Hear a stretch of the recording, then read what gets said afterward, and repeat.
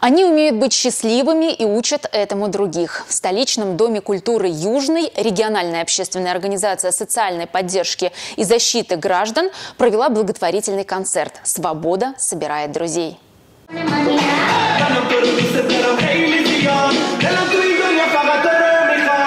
Концерт получил и второе название – День счастья. Международный день счастья – это один из самых светлых и добрых праздников. Это день улыбок, объятий, поцелуев, отличного настроения и веры во все хорошее. Люди стараются сделать друг для друга что-то приятное и помочь тем, кому это необходимо.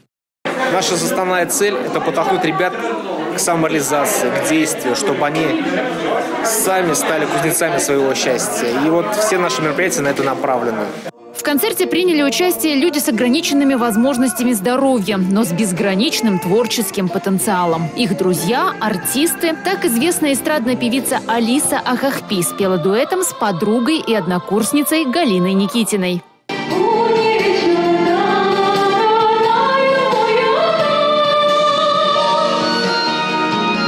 Хочется, чтобы вот не только друзья меня поддерживали, а именно поддерживать друзей как-то. Именно общением, э, советами какими-то добрыми. Ну, просто радоваться за успехи друзей.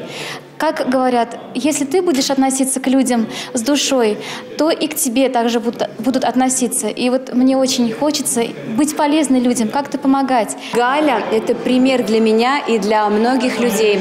Вот всегда, когда мне тяжело, да, что-то не получается, какие-то проблемы, преграды в жизни, я всегда вспоминаю на мою дорогую Галю. Говорю, несмотря ни на что, она такой сильный человек, она вот живет, она борется, она выступает, она дает людям радость, э, вот пример для меня, для подражания, всегда беру ее в пример. На встречу с друзьями приехали гости из Москвы. Одно из главных направлений нашего фонда – это создание инклюзивного общества в нашей стране. И без такого погружения, пока ты сам не почувствуешь, пока ты сам не рядом не станешь с таким особенным ребенком, говорить по инклюзии очень сложно. Поэтому здорово, что в Чебоксарах есть такой проект – Здорово, что есть такая общественная организация, и которая объединяет разных людей. Чувашия в числе 10 пилотных регионов России, в которых реализуется проект равенства возможностей. Практики наших инклюзивных методик будут распространять и в других городах страны.